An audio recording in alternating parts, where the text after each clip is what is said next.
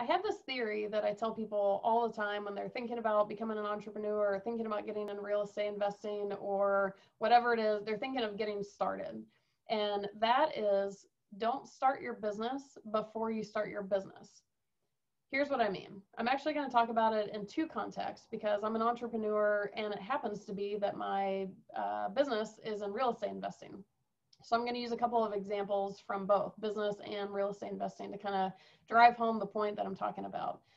So as far as business goes, I tell people all the time that I had about 173 business ideas before I actually started the one that worked, the one that I have now.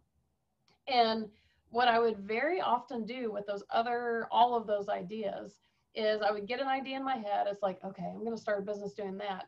And I would start creating the business before I was actually doing what the business was, if that makes any sense. Here's an example about that. I, you know, I do business consulting sometimes too. And I had a friend one time who was wanting to be a life coach. And she was spending so much time trying to get the perfect website, trying to get the perfect everything going on. She wasn't actually doing any life coaching. And it's kind of like, well, first of all, you know, so many different industries, but like the perfect website isn't going to be what drives your clients. And what you really don't want to do is spend all this time and effort getting all the logistics set up if you don't even know that this is going to take off. So in the case of my friend trying to life coach, so life coach a couple clients, even if it's a friend, say, hey, can I give you an hour of free coaching? And you know, you kind of give me feedback or whatever, offer a couple free sessions.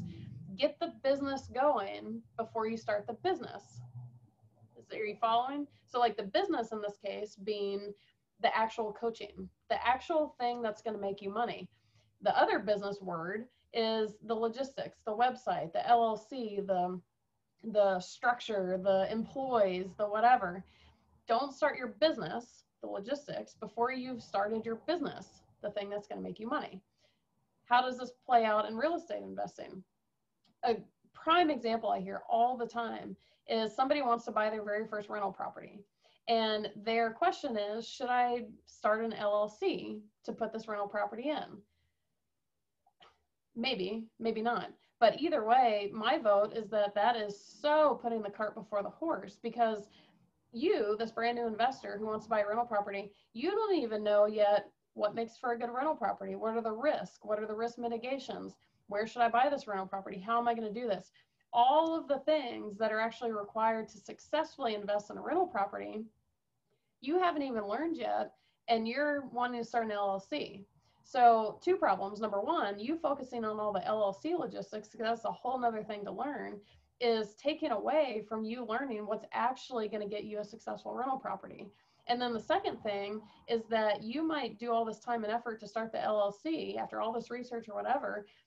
You don't even have a property yet. So what if it doesn't work? You know, how many people out there have LLCs for things that don't actually have anything underneath them? Don't start your business before you start your business. So get your first rental property, get your feet wet, get things going. And when the time is right, if you feel like you need an LLC, do it then. It's not required to get the rental property. So is this making sense about don't start your business before you start your business? So going back to the 173 business ideas that I had before the one I, that ended up working, I would come up with a genius idea, genius, and I would start putting together essentially the business plan. I might set up a website. I might do all these things. I might have this whole plan for how this business is going to work, but I haven't actually yet made a penny. So, is it possible? The answer is yes. Is it possible I do all this work creating the business before I actually have the business, and that business never even happens.